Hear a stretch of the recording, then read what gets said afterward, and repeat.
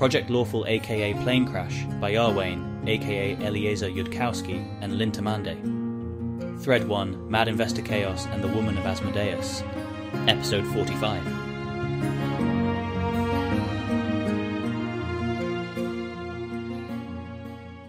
A tall woman garbed in casual dress for low nobility politely knocks on the library door and then steps inside. Sevar, if you'll follow me outside the Forbiddance, I'm your teleport for your afternoon appointment. Carissa gave this a bit of thought and decided she's just going to be truthful with Keltham that she's also spending some of her money on becoming prettier, probably with a playful, if you like that. She's not going to explain herself yet, though. She follows. Keltham is slightly confused about what sort of scheduling gap this implies. He can neither teach anything for which all students should be present, nor snuggle Carissa until she gets back, but gets tangled up in uncertainties about local interrogating someone you're also fuck king relationship norms for long enough that he doesn't want to yell the question loud enough for it to reach Carissa, and then he doesn't remember the message cantrip for longer than that. Well, he has his own mounds of reading and learning to do. I'm also to retrieve a cursed bag of holding, the low noble says curtly once they're out of library earshot. She hands it over. How long will this be? The noble shrugs. Hour or two. Been a while since I had mine. She examines the bag. Used once, emptied, not recharged. Confirm or deny? Confirm. With a slight pang of regret, but she is not going to flirt with the queen. The noble tucks the bag away without comment, and then strides swiftly in the direction of the nearest exit from the villa. Sevar will need to half jog herself to keep up. The noble's legs are longer, and she's apparently stronger. Once they're outside the bounds of the physical villa and heading towards the edge of the forbiddance, the noble speaks again. Not interested in the queen's affections, I take it. Understandable. That doesn't seem like a question with a safe answer. It's no flaw in the bag, which was lovely, or the queen, who was much lovelier. But terrifying to be around to the point where the prudent, wise, safe course of action seems to be ignoring her and hoping she stops paying attention to you. As I said, understandable. And yet one gets the sense the queen finds it annoying when people try to do the prudent, wise, safe course of action at her. It's a bit of a dilemma. I am hoping I can just make her powerful beyond all our imaginings and then be forgiven my confusion about how to handle it. This wins a snort of amused laughter from the low noble. A difficult tactic, but I would expect it to work if you can do it. The noblewoman puts her hand on Sevar's shoulder and casts a two person teleport, sorcerously, not as a wizard spell. They're in Ostenso, outside a discreet but very upscale looking shop. There's a sign in gold leaf over steel that reads Guillaume and Arnau, and no other hint of what the shop does. If you don't already know, you're not supposed to be here. The noblewoman drops her hand. Different transport will be provided when you're done. I'm too busy to stick around here. Free advice, Sevar, though I may suspect it may come too late. The Queen may choose to request transcripts of your thoughts. If you thought about how the Queen was very pretty but too scary for you to want to be around her, or if you considered using her bag again but decided against that only because you didn't want any more of her attention, she is liable to take that as flirting back. Of course, she is. The Queen should, of course, have whatever information she likes in determining how to do exactly as she wishes, she says. It's not as bad as it sounds. She only does the statue thing very rarely, and not to lovers who disappoint her in bed. In your personal case, I think you'd have to piss off the church and Asmodeus first before she'd go ahead with it. Carissa has absolutely no context with which to interpret any of the sounds coming out of this person's mouth at this point. Is she being reassured because she's thought to be an unhelpful amount of scared? But telling her the queen might come for her wouldn't seem to help with that. Is she being mocked? Probably. She's out of place here, in her world wound uniform, and well aware that nobles tend to think that kind of thing is funny. Is there a deeper, secret message? Why would it matter what Carissa thinks about what the Queen thinks of her? Is she being told that if she's a shape that the Queen will think of as flirting back like it or not, she should actually just flirt back? But it's too late. The woman acknowledged it was too late. Is it a test of whether she internalized Mylal's lesson about it not mattering what she wants? But even before that lesson, she was very clear on the fact that if the queen wants something, you say yes, no matter what it is and no matter how you feel about it. What's this person's angle? I have learned recently that apparently a lot of people have trouble looking forward to, with genuine delight, the process by which in hell they will be perfected. While I have many human deficiencies that make me an inadequate servant of our God, I don't have that one. And my problem here is not that it sounds bad, it's that I'm sure there are lots of equally interesting girls who are slightly less busy. Under no reasonable models of this person's goals was that a very good thing to say. The headband helps Carissa observe with perfect clarity. She'll just go inside to her appointment. She didn't catch on this time. That's disappointing, but also kind of adorable. Abrogail did have other things to do with her time today. It's just when Sevar's thought transcripts show her thinking every five minutes about how terrified she is of you, it's hard to help yourself. About 20 minutes into her beauty appointment, which thankfully involves things being spread on her face and doesn't require much of even her unenhanced attention, it does occur to Carissa that nobles who are also Fifth Circle sorcerers don't run miscellaneous transportation errands security could handle. Doesn't she have a country to run? But that's not even a reasonable complaint, really, because everyone knows full well that this little project is the most important thing in it, and that this little project will succeed or fail on Carissa's judgment. And if it fails, then if she's lucky, she'll go to hell. Asmodia could not possibly be less relatable. Carissa finds herself, in fact, utterly furious with her for having the thing Carissa wants more than anything else in the world and trying, like a toddler too caught in the throes of a tantrum to be reasoned with, to rid herself of it. The only inheritance she has, the only good thing about being human. She does remember to ask if she can also be fitted for clothes appropriate to her hypothetical station. Guillaume and Arnau does not provide that service. But there is a fine clothier two streets up, if Madam Customer is sure she can afford their services. Or if this is part of a government operation, they can append a few words requesting clothing purchase assistance to the pickup request. Carissa has now gained a permanent plus one inherent bonus to comeliness. Yes, please. On appending it to the pickup request, she is sure she can't afford it. It's not incredibly obvious looking in the mirror it's the difference between how one looks on a good day versus on a bad day.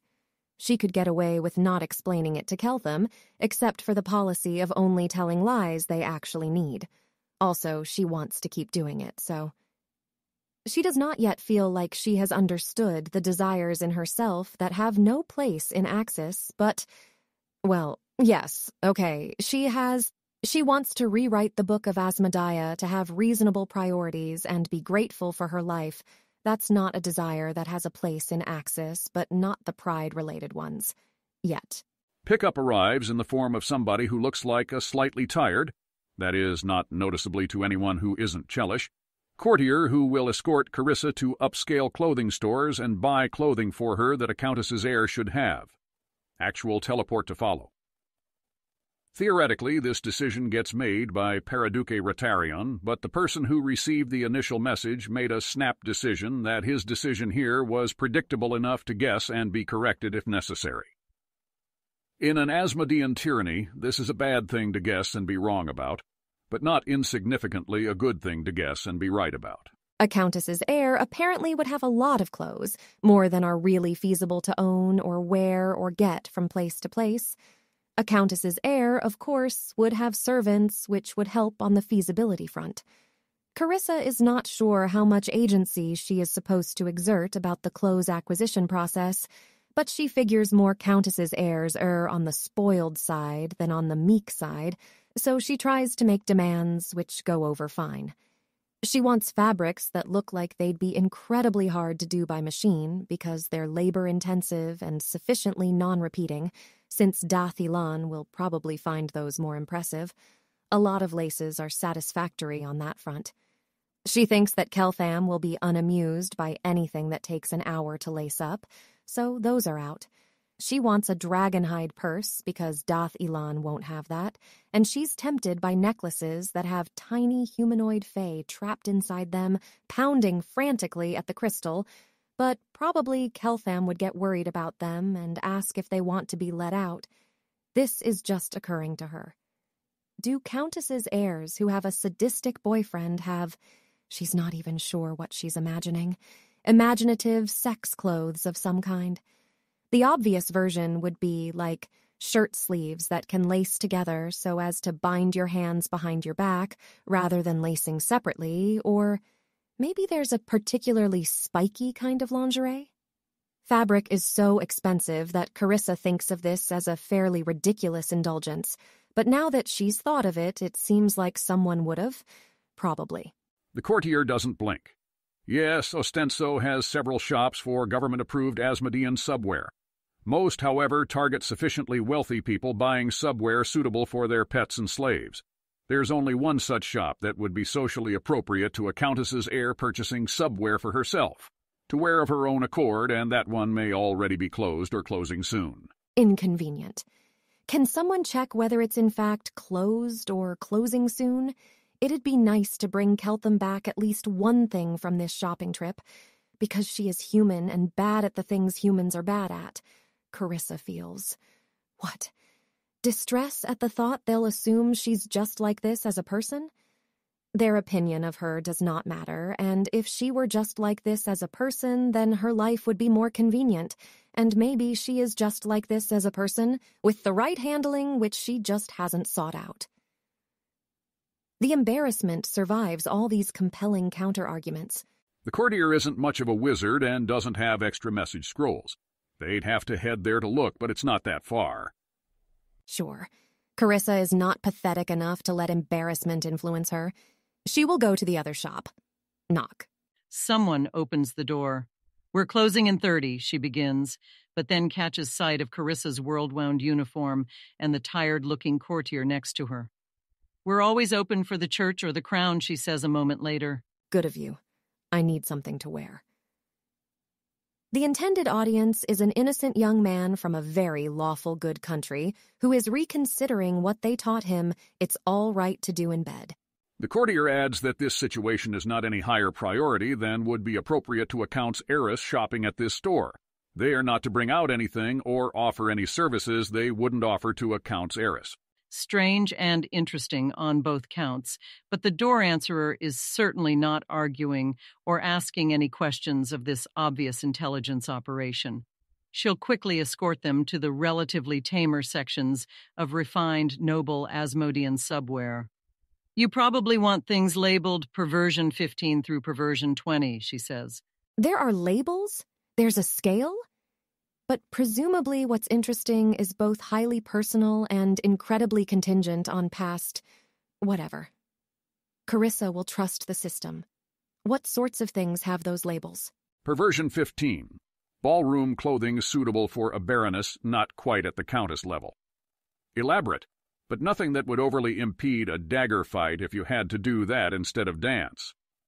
Cunning pleats and overlaps in the clothing would enable a lover to reach right through it for pleasure or punishment, in any number of various places and angles without any need of removing it. Perversion 17. Loose slave garments and not cripplingly expensive to lose harem jewelry that would be suitable for a noble surrendering herself to a higher noble for sexual punishment after being defeated in a contest of wills and powers according to a not particularly legible etiquette code that absolutely does distinguish this case from the case of a noble who got physically captured by another noble and forcibly redecorated by them, in which case, obviously, you'd be shopping at one of the other stores instead, because this store is only for noble submissives who are doing their own shopping.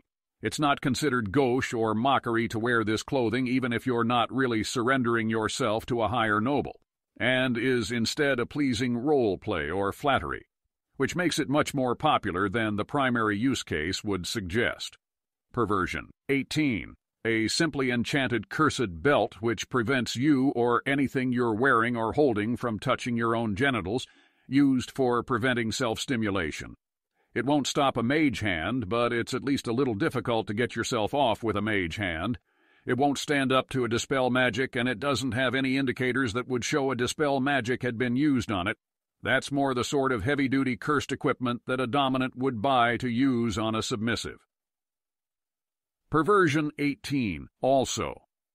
A whole body outfit of leather straps, concealing nothing of importance, studded with solid metal rings, any of which can be locked to any other. You'll need to also buy either these simple open or shut connectors, which you could just as easily manipulate to free yourself if your fingers weren't otherwise restrained, or these more time consuming simple locks sharing a common key. You could be restrained and re restrained in a very wide variety of positions using this, especially if you also buy these simply enchanted, adjustable length metal bars with rings on either end. Uncaring use of this on you may require a cleric's attention afterwards. Not that there's anything wrong with that. Perversion 20. An Asmodean fighter's leather armor, but interlaced through with subtle bands that can be tightened to reduce flexibility and resist motions, handicapping the wearer. If you were wearing this, you could lose a hand to hand combat to a substantially less skilled fighter without it looking too unnatural. The groin protection can be detached without that affecting the restraining power of the rest of the armor. It's not that large a store floor, and even if Carissa keeps her focus relatively narrow, she's liable to notice, for example, a Perversion 24 enchanted metal bra whose breast cups go searingly hot any time you make a sound, a much more expensive Perversion 33 bra that sears you any time you disobey any order you hear, decorated aesthetic versions of many common torture implements that don't require overly expensive, for a noble clerical attention afterwards, slave rags, which sure look like ordinary slave rags, except for somehow being 400 times as expensive. Oh, they're enchanted to automatically clean themselves without requiring some random laundry wizard to use prestidigitation for two minutes. That's why they're 400 times as expensive, and of course, cuffs, whips, branding irons, acid droppers, and blindfolds with extraneous gold detailing, and in some cases, tiny rubies. In many cases, one can tell on a close examination that this is definitely subware that noble Asmodean submissives buy for themselves, rather than subware for Asmodean dominants to buy for their subs, because the subware is visibly designed in some way to allow or require the submissive to put herself into it, rather than for her to be restrained while somebody else puts subware on her. Obviously, this is a matter of fashion signals rather than practice. It's not like you couldn't threaten somebody into putting this stuff on. The male focused section of the store floor is smaller, maybe a quarter of the size, but very much existent, for the benefit of that very, very rare Asmodean who wanders into a store like this one and starts pondering anything to do with gender disparities. Carissa has never really given a lot of thought to how the nobility lives, beyond deciding a decade ago she didn't want to be a court wizard because the mortality rate was appalling. Her plan was to start a magic shop, figure out who was the most important person to bribe, make them something beautiful every year for a present, and assume that's sufficient to keep her out of everything else. Her feeling now, looking at all of this, is faintly infuriated it seems very fake, like they're playing the game of having sex instead of just having sex like normal people. Carissa is not actually sure she is very interested in the game of having sex.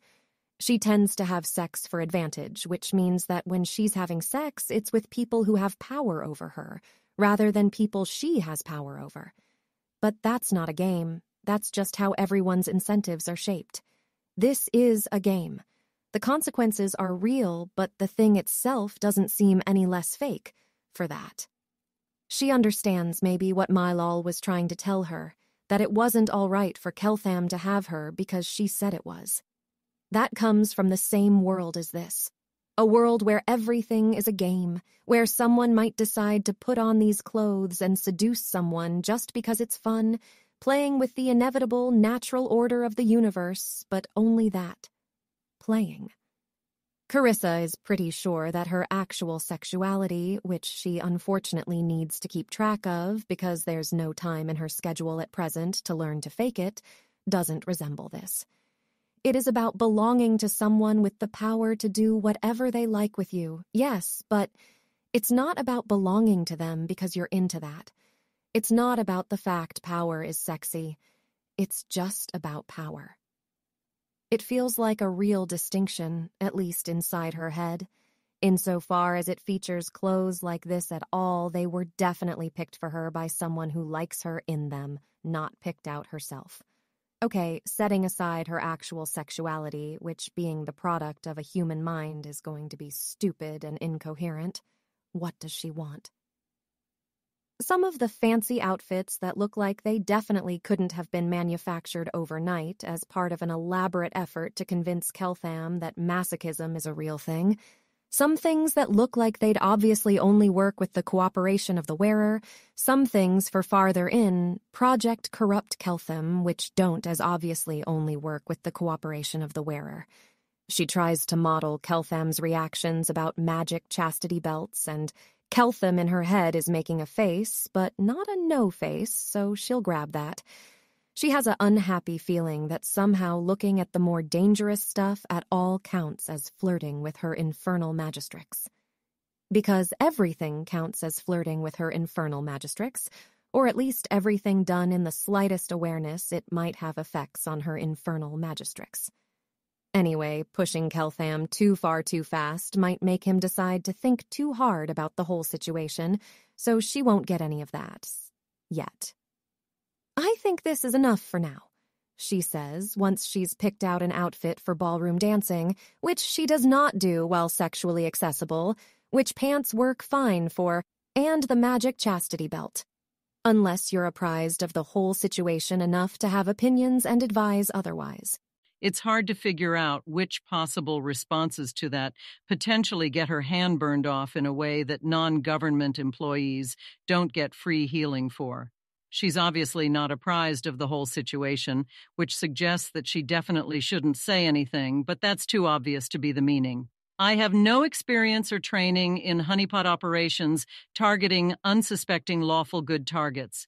Government approved literature has seemed to suggest that presenting yourself to a lawful good man in obviously self applied bondage, gesturing at the outfit of leather straps, will tempt him to do things to your helpless form without that seeming to hurry him along the path to inflicting pain, and that tickling is useful as an intermediate step towards getting him to hurt you.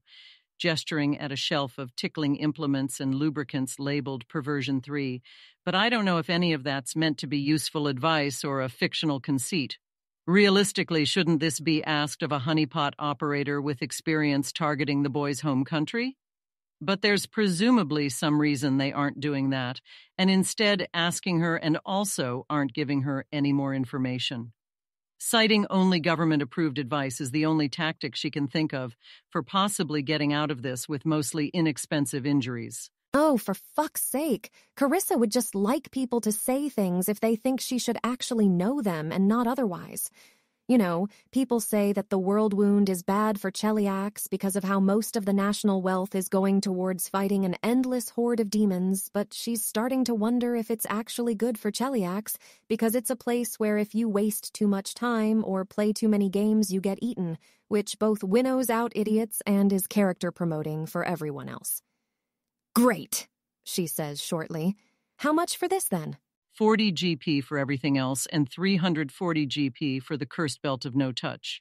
It would be more if it was an adventure grade cursed item and not a bedroom grade one. She glances over at the courtier in case she has opinions about whether Carissa is allowed to spend that much on sex toys.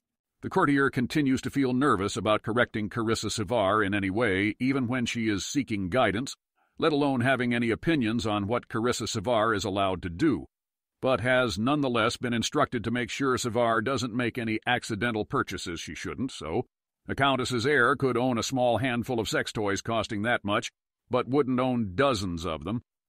This mission hasn't run out of gold yet, though they're getting close to the amount the courtier has on her. These both seem like very safe opinions to express, and not ones that will cause Carissa Sevar, or Rathus Rotarian, or Aspexia Rugatonn or a suddenly appearing pit fiend to kill her. This background anxiety doesn't show at all to Carissa, the courtier is experienced. Carissa is not very interested in people's internal states as long as it doesn't cause them to waste her time or not tell her things. Great, then, let's get these and then swing back to the other store for one normal outfit, and they can take my measurements so I don't have to leave for future orders. If Asmodeus has taken a personal interest in that event happening, the courtier isn't going to argue with it. The items go into a standard military issued common use bag of holding. Back to other clothing stores. Carissa will get one nice dress that isn't a special sex dress and an undergarment for it, and not ask anyone any questions they are too nervous to usefully answer, and get all her measurements so that she can order future dresses that are even better fitted, and then she can be done with this ordeal and hopefully not have missed dinner. Judging by the time, she probably missed dinner. Keltham has acquired a timepiece that he will someday remember to check again. He's found out that Cheliax is 85% farmers, implying that their food per person gain function is 7 6, approximately 1 17, in which case anything that produced a permanent 1 or 7 decrease in farming productivity would cause human life in Cheliax to stop existing. There maybe shouldn't be all that many priorities higher than increasing the food per person gain on farming to something more like, say, 100, or at least 10. Dinner probably happened at some point. He isn't really focusing on that. Keltham is currently experimenting with prestidigitation to see if he can prestidigitate things to be magnetic, magnetizable, or to have rotating magnetic fields inside them. How's that going for him? Making random objects magnetic? No. Magnetizing a metal in the fashion you could also do with a strong magnet? Yes. Rotating magnetic fields. He can't make it a persistent property of the object, but he can do it very briefly, scattering a bunch of iron filings in a suggestive fashion before it stops quite working. Meritxell points out that if there were a permanent one seventh decrease in farming productivity, all the least productive farmers would starve. But there is variance, and some farmers are very productive and would be fine. What makes some farmers more productive? Any clues? Can he make a loop of metal superconducting with prestidigitation and then use this bit of iron he already magnetized to start an electric current flowing which will then persist? Keltham has a detailed qualitative physics mental model of both conductivity and superconductivity, if that counts for anything. He wouldn't know exact numbers on how conductive a piece of impure iron would already be. Some places the soil is much richer, so plants grow better, says Tonia and near rivers, it's possible to irrigate the fields. Getting an electric current flowing isn't working, and it's not totally clear why. Fascinating. If you can make something taste even vaguely like chocolate, you'd think you could make it support a superfluid of phonon coupled paired electrons. That's much less complicated than the implied fitting of taste receptor potential energy surfaces going on with tastes vaguely like chocolate. Can he make something just exhibit the magnetic field expulsing effect, so that it will float above a magnet, even if it's not a superconductor? The classic science maniac Varese maneuver would be to see if you can use prestidigitation to turn a very tiny amount of something into antimatter, but that, obviously, Keltham is not going to talk about, or try until he's got a much better grasp on safety precautions. Yep, very briefly again, like with a magnetic field. And then he loses it and has to start again. Then Keltham is going to practice this some more, because if he gets magnetic field expulsion and magnetism both working, and if he's right about how things look to detect magic, he's going to be able to show off an object floating above another object without any visible magical force holding it up, which should make a nice, difficult seeming impressive trick for Golarion natives if they don't already have any obvious ways for doing that. Carissa comes quietly in while he's still getting this down having swung by Myols to ask calmly for confirmation that was, again, her infernal magistrix. Keltham wasn't at the stage of being ready to attempt a visible, thing floating above thing effect. Just bringing prestidigitated objects closer together to see if he can maintain the repulsive force he's aiming for, and especially while he's not actively casting the prestidigitation spell. This is good because he doesn't need to hide the preliminary stages of a difficult seeming impressive trick from Carissa, who might otherwise be impressed by the completed form. Oh, hey, Keltham starts to say when Carissa steps in. She's dressed nicer and more normally, though not in anything like a Dath Ilani style. Oh, did you get back your non world wound wardrobe and stuff? That's a sensible thing for the trip to have been about. Yes, well, acquired a non world wound wardrobe. I haven't had one in mothballs for the last six years. Also acquired some other things I'll tell you about later. Not bad for a low-tech society. He'd visualized non-governance clothing as being much cruder, given the description of hand-powered spinning and weaving. Wait, is that actually incredibly expensive stuff that only third circle wizards on important government projects can afford? He'll quietly ask somebody who isn't Carissa, which he can totally do now, because magic. I've been practicing economic magic, Keltham says. Observe what I now do completely without a huge supply network to manufacture sound transmission equipment. He goes through the gestures to cast and catch message, then mouths to Meritxell. Do her new clothes look very expensive? Yes, Meritxell whispers back, smiling. Good news about Carissa's career trajectory, not such great news about the state of the rest of Cheliax. You also seem more generally cheerful, brighter, if I'm not just imagining things said to Carissa normally. You're very perceptive. It is generally said that you need to get multiple prettiness treatments if you want a man to actually notice instead of just vaguely feeling fonder. That is one of the other things I was going to tell you about later. Keltham peers at her more closely. That could be a change to underlying biology that I interpreted as cheerfulness, I suppose. If you hadn't told me, it wouldn't have occurred to me that your hidden background state appearance had changed. Oh, huh. Keltham has slightly mixed feelings about that, which he should put a pin into discussing sometime later. Should he mention it now so she can help him pin it? I. No, that seems like an ominous and unspecified thing to dump on somebody if you're not going to talk about it right away. Keltham casts Detect Magic, just to see if he can spot any lingering magic on or about Carissa from it all. Nope. Have you eaten yet? I'm afraid we already did. I'll grab myself something and come right back then. He's about ready to wrap up. After this comes Keltham's casting his mysterious cleric spells for the day, though Keltham isn't going to mention that fact until she's done eating dinner, in case it's otherwise a nice mood spoiler. Though she might not actually be in a nice mood, just prettier. Still, same logic applies. See you soon and again, he says, in a baseline idiom that maybe didn't quite translate to Taldane. She hurries out, smiling. More magnetic field excluding practice. Also, more infinite additional questions. Is the limitation on irrigating more fields the limited supply of water, or the cost of infrastructure to transport water? What, if anything, do you already do to try to make fields have richer soil? You leave the fields fallow some years, says Tonia, and turn the soil deeper, in some places, they harvest batshit from deep caves and the Underdark. Carissa requests a summary over dinner or anything that's come up, and also wonders aloud at security whether Asmodia's been behaving herself better or worse or the same. Keltham asked questions about farming and other aspects of Chelish economics. Meritxell and Tonia mostly answered them in a way that fits the hypothetical new Cheliax so far as security could tell. Ione passed a note to security offering to warn Keltham to maybe not trust everything Meritxell says about economics, because she might be overrunning her real knowledge in a very enthusiastic and well-intentioned way, but still. Security is deferring that decision to Sevar. Ione oracled in one Ostenso library book about farmers. The security does still have the ability to redirect Keltham's thoughts away from text, and farming seemed innocuous. It didn't contain nearly as much direct detail on farming operations as Keltham had hoped. No illustrations of plows or mentions of how much a plow costs or who makes plows, and soon Keltham gave up and stopped reading. Keltham suggested establishing communications with somebody at the Ostenso library who could check through books first given a request for content and leave a found book in a designated place for Ione to borrow.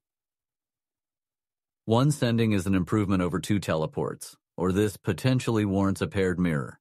Security told him that requisitions said she'd think about it. Requisitions in this case really means Sevar. They can get the mirrors if Sevar says yes. Asmodia has been keeping to her bedroom and rereading her math textbooks, which is overtly good behavior. She wasn't tightly monitored, but spot checking of thoughts suggests that she's anxiously locking down a lot of disloyal thoughts. Nothing unusual for someone in her position, though, of course, Asmodia isn't being told that, but certainly more anxiety and thought suppression than would have been characteristic of her three days ago. Overt thoughts indicate willingness to work with Sevar on her mysterious project for Dath Ilani thinking. confusion about what the real purpose of that is, painful hope that maybe she can avoid hell after all. Pilar was almost but not quite killed when a security wizard got a message announcing one of his wives had successfully birthed a child, and Pilar shouted congratulations from directly behind him. Nobody, including Pilar, understands how Pilar got into the temple room where the wizard was receiving the message, and Pilar can't quite remember what she was doing just before that. Pilar thinks she could possibly learn to not do it to on-duty security, so long as she can still do it sometimes to somebody, but on this occasion, the impulse took her by surprise. Pilar is significantly shaken up about this, because if she died like that, she wouldn't have been maledicted first. Also, Pilar needs to throw somebody a larger party, preferably a surprise party. Single pieces of cake being handed out on special occasions aren't going to cut it for her indefinitely. This is mostly Mayal's problem, but is being copied to Sevar in case it somehow interacts with project matters. Or for that matter, in case she wants to advise Mayal that having a chaotic good oracle to exhibit to Keltham isn't worth that much. Cayden. Cailean is like the kind of god Carissa would have made up if she were a propagandist trying to convince Chelish people that good is stunningly worthless and stupid. Probably it's fine if Pilar throws some parties. How expensive can that even be? Though the only acceptable targets for surprise parties are the other girls and maybe whoever's on staff doing laundry or whatever. Coordination with the library in Ostenso seems straightforwardly good for the cause of passing Keltham only desired books, worth a mirror. If Tonia and Meritxell are the chattiest girls, they should both get some training slash screening for how to handle it if Keltham wants to fuck them. Carissa heads back over once she's had enough to eat. There is no longer any staff on the premises doing laundry. All the usual slaves have been removed for now. They'd be infosec hazards to Keltham in any case. Cooking, janitorial, and other ops are being performed by a few First Circle priests of Asmodeus with appropriate civilian proficiencies. Mayal is afraid that anyone here without a claimed soul is going to get oracled.